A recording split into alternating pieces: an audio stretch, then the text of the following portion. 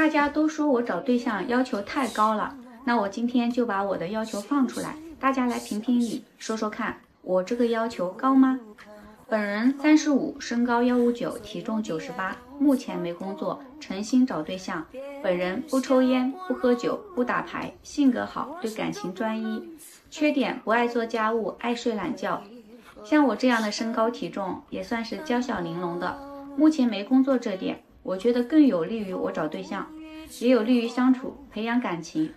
我有足够的时间陪你，而且我不抽烟，不喝酒，不打牌，没有这些不良嗜好。就一点点爱好，就是爱美。我打扮的漂漂亮亮的，出去你不也有面子吗？我对感情专一，只要你对我好，我就眼里心里只有你一个人，别人那里我看都不会看一眼。现寻求三十至四十岁，有车有房无贷款，车子不低于五十万，房子不低于三百万，身高幺七五以上，年薪七十万加，无孩儿的优先考虑。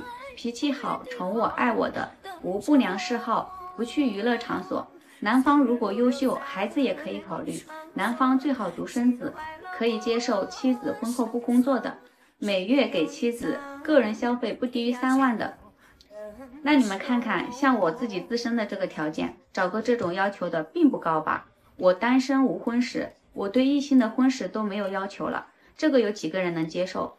而且我对对方的经济要求也没有特别高，你们大家说说看，是不是这样的？根据这位女生的自述，她列出了自己对理想对象的要求。她描述了自己的身高、体重、没有工作等基本情况，并强调自己的好性格、专一对待感情以及爱美的一面。